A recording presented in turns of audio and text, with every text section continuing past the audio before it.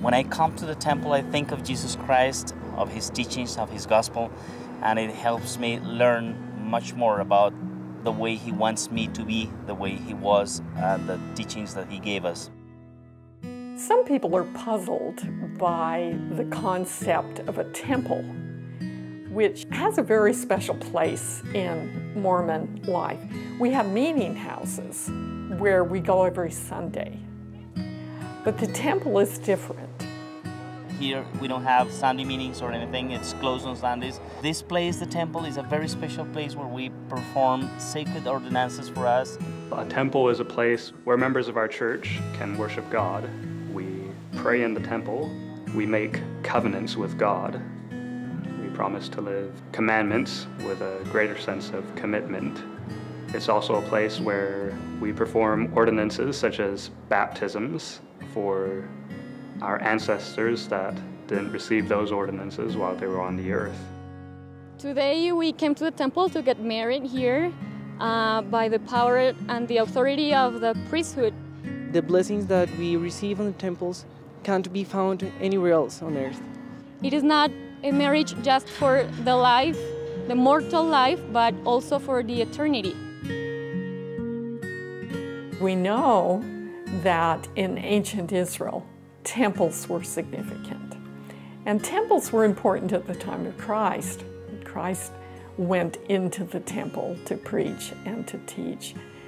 And so he wanted temples at the center of the religious community. In fact, temples came even before meeting houses in the early Latter day Saint community. It was part of the restoration of all of the things that God had given his children over time. I feel that uh, the Mormon experience of the temple has sort of restored that meaning to the word temple. Temple was the uh, house of God. It was where the divine and the human touched. In the biblical period, the idea of a temple is it's a special place where God's presence is always to be found. 1 Corinthians 15, where Paul speaks about those who baptize themselves for the dead, and uh, obviously takes for granted that A, there were people who did so, and he has no complaint about it.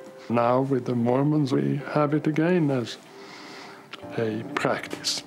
It's a beautiful thing. I could think of myself as taking part in such an act extending the blessings that have come to me in and through Jesus Christ. That's generous. That's beautiful. I have never attended the temple, but that I have left feeling inspired, encouraged, and more focused. And it is in the temples where we can get respite from the pressures and the activity and the hustle and bustle of the things in the rest of our lives and take time out to contemplate, to reflect, to be instructed, and to serve. I really enjoy the blessings that we received in the temple. I love to be there each time to pour out my heart to my Father in heaven. The temple has made me a better person. We always want to have a temple very close to us because we know those activities that go on that improves our, our lives. Uh, it improves our lives.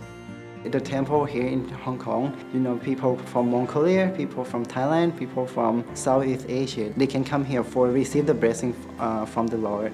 It's really blessed that we have the temple here in Hong Kong. We are from India. This is uh, my family, my father, my mother, and this is all my sisters and I am so excited to, to be here in this temple, Hong Kong temple. It is a very big blessings for us uh, to be here. இந்த ஆலயத்துக்கு இங்கே Hong Kong ஆலயத்துக்கு வர்றதுக்கு நாங்கள் ரொம்ப We are blessed to come to this Hong Kong temple and we feel that God Himself has invited us. We feel very happy. My family, many blessings, very happy.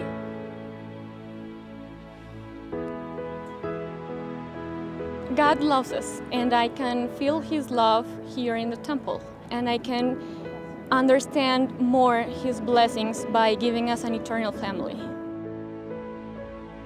The temple is truly heaven on earth.